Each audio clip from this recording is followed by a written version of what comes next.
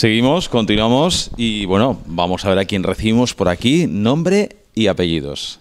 Marina Cibera Moreno. Hola Marina, ¿qué tal? Muy bien. Muy bien. Y nosotros encantados de tenerte con nosotros aquí. Eh, ¿De qué falla eres? Del barrio de San José. Mm, ¿De qué sector? Artiros. Agrupación. Del Marítimo. Muy bien. Háblanos un poquito de tu historia fallero. Pues yo soy fallera de toda la vida. Empecé siendo muy pequeñita en la falla de la Vega, en Cullera, que es Mm. donde es mi, mi- mi madre y nuestra familia. Y mm, luego llevo siendo el resto de mi vida en el barrio de San José, que es la falla de ahora. Fui fallera mayor infantil ahí, con 10 años, en 2005. Luego fui, tuve el honor de ser corte de, de honor de Valencia en 2006. Mm, Y desde entonces he estado pacientemente esperando mi huequito para ser fallera mayor, que he podido conseguirlo este año. Y que por fin ha llegado, claro que sí. Eh, ¿Padres, hermanos? Mi madre es Ana, mi padre es Ricardo y mi hermana mayor, que es Paula. Mm, ¿Tienes pareja? No, no tengo pareja. Otra que no. ya no te pregunto nada más, ni nombre, ni... Claro. ¿Estudias, trabajas? Las dos. Ambas cosas, pues cuéntanos. Odontología, estoy en quinto de carrera, acabo este año. Me queda un mesecito más o menos. Mm. Y trabajo en Estalla. Soy guía y doy los tours y enseño el campo y hacemos, llevo un poco las vistas privadas y todo junto Mm. con muchos compañeros. Yo grabé un spot en el Mestalla. Sí, pues igual nos vimos. Para una... Esto de una empresa de cervezas. Yo me paso el día con, con turistas, lo hago en inglés, Bueno, yo- en yo- castellano, en varios idiomas y entonces igual en ese momento no. Fue una experiencia increíble, pero bueno. Vamos a continuar contigo. Eh, ¿Quién ha sido tu artista fallero? Loren Fandos, ya Mm. varios años además. Varios años, o sea, lo que quiere decir que estáis. es nuestro artista infantil también. Ah. O sea, somos familia Fandos al completo. Lo que quiere decir que estáis contentos, claro, Sí, claro. evidentemente. Eh, ¿Qué acto es el que más te ha impactado como fallera mayor? Pues fíjate que ha cambiado. Siempre había sido la cría para mí, lo que es en el año fallero. Y una vez eres fallera mayor, la ofrenda se vive de una manera que es inigualable e irrepetible. Y yo haber entrado con mi padre detrás, mi madre delante y mi hermana mirándome, mis amigos rodeándome, ha sido la experiencia fallera más bonita que he tenido este año. O sea, que la ofrenda. Es que además no tiene nada que ver, por más que hayas pasado un montón de veces, No, nada que ver. nada que ver. ¿Crees que, que conoces la experiencia? ¿Crees que ya lo has vivido y que sabes a lo que te enfrentas? Y luego lo vives y te das cuenta de que por mucho que sea un tópico, por algo es un tópico realmente. Exacto. Una fallera mayor de Valencia. Raquel Dario. ¿Por? Porque me parece que ha sabido transmitir la elegancia y los, la vida fallera que debería tener una fallera mayor de Valencia. Y se le ve una chica muy agradable. He tenido pues, el placer de conocerla y es muy, muy, muy simpática. Es una chica estupenda y Muy cercana, ¿no? Muy cercana. muy cercana. Y me parece que es una chica de admirar. Mm. Un pirotécnico. El pirotécnico de mi falla acaba ayer, que tiramos unas mascletas ahí estupendas cada falla. Eh, hobbies aparte de las fallas. Pues me gusta mucho leer. Llevo un, un vicio a la lectura bastante importante. Luego me gusta mucho la música, yo toco el ukelele y me gusta mucho entrar a, tocar y aprender canciones nuevas. El cine me gusta mucho también. Y luego lo que es deportes, pues he hecho surf toda la vida y todo lo que es... Actividades también al aire libre me llaman siempre mucho la atención.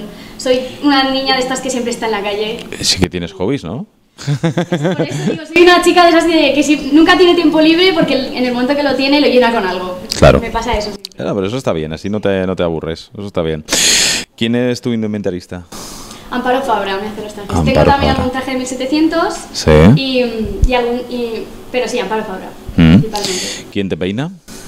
Carles Ruiz, Mm. ¿Y, te ma- de muchos años ya. ¿Y te maquilla quién? Elena Gutiérrez, Elena Gutiérrez. Sí.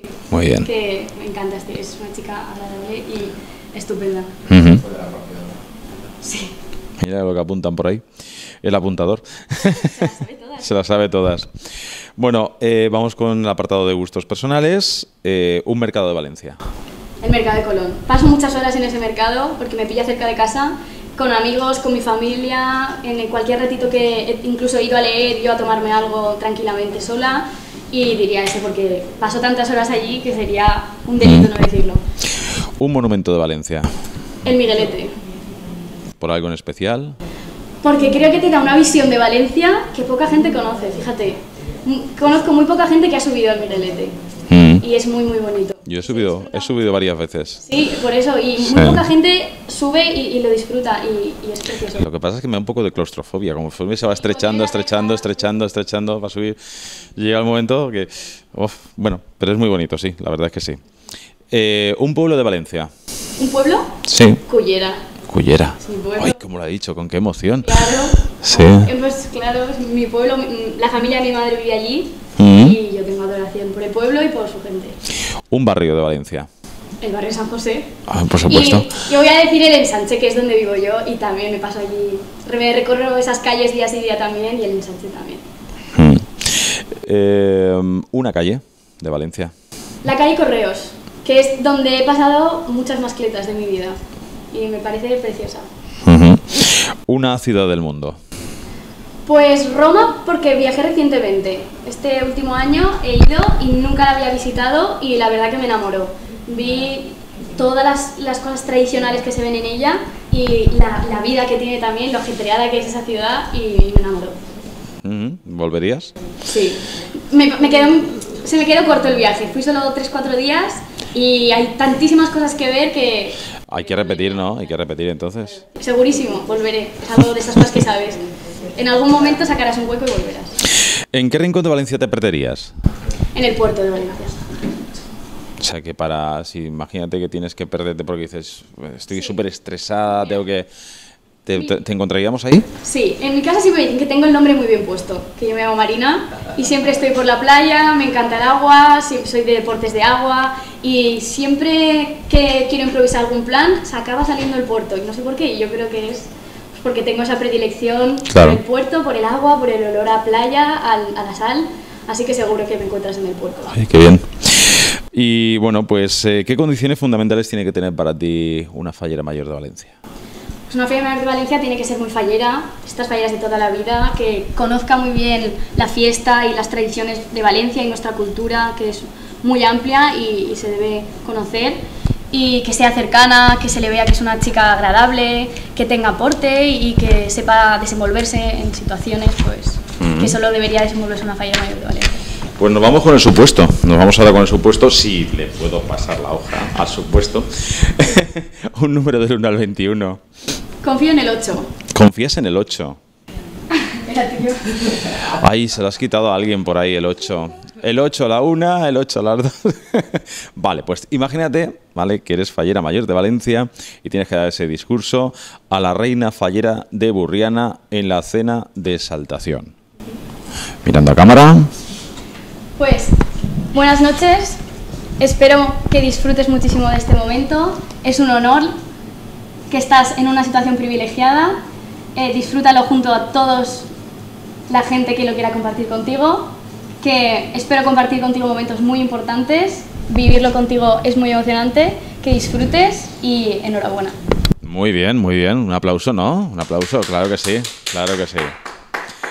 Y bueno, pues eh, para ir finalizando, el apartado de agradecimientos a toda esa gente que ha estado contigo viviendo este año maravilloso. Pues muchas gracias en primer lugar a mi familia, que es la que siempre me ayuda en el durante, en el pre-fiesta y en el posterior, siempre nos, estamos ahí para apoyarnos.